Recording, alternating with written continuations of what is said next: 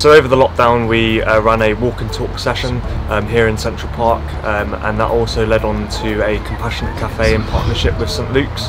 Um, so that's really uh, really a good session for people to come along to um, and they get to talk to other people who may be in a similar situation to themselves um, and especially at the compassionate cafe we have volunteers um, who are really friendly and welcoming and it's really good for them to come in and chat. Yeah, so the impact has been uh, really good, um, and people have definitely uh, given good feedback to ourselves, um, and especially with the walk and talk session. Um, we've got Argyle fans who come on the walk and talk session, and um, obviously they chat to other Argyle fans, and it's it's really good. Um, and as well as normal people who um, may not be so much involved with Argyle, may not support the actual football club, but just come along for the mental health side of things. Um, so yeah, it's really important for us to uh, support people um, come into our sessions um, and come into the walk and talk in the Compassionate Cafe.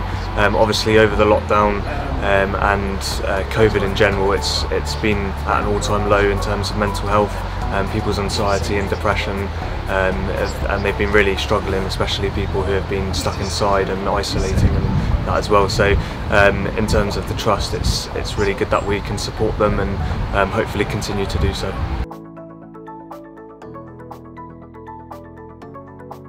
When when there was a lockdown, it was shocking. I couldn't couldn't get my head around it at all because you couldn't go out, you couldn't do nothing. And I found it extremely hard because I lost my wife um, only like uh, two and a half years ago, so the lockdown was quite, you know. Um, rough on me, especially.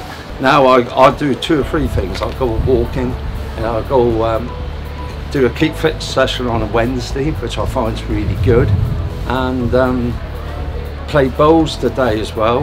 And it's all to do with um, the Argyle Hub, really. You know, and Jamie used to come out and see me on a Wednesday, and uh, yeah, and we used to have a long chat about football and what because I follow Plymouth home and away all the away games as well. Um, but yeah, it, it gives me a sense of sort of, you know, living really. Uh, I put my heart and soul into it to get the coach, the supporters coach, and yeah, I, I love it. Meeting nice people on there, it's good. Yeah, you don't feel alone when you're sort of on these matches. It's good. That was great, look, getting out, meeting people, chatting to people that you wouldn't normally come across. So it's, no, it's, it's, it's, a great activity for everyone to get involved in. I think it's, it's paramount that we do support people with mental health. I think that's such a big thing nowadays and, and has been forever. I think it's just obviously there's more awareness to do with that now. So yeah, look, we find that as a trust and as people that it's, it's, it's our job to help with that. And then says if we can help with people's mental health, I think it's, it's a really important part of our job that we can do that. And it's uh, it's great with stuff like this that we did today that we can come out and meet people from different walks of life, and it's been a really enjoyable, uh, enjoyable day of it.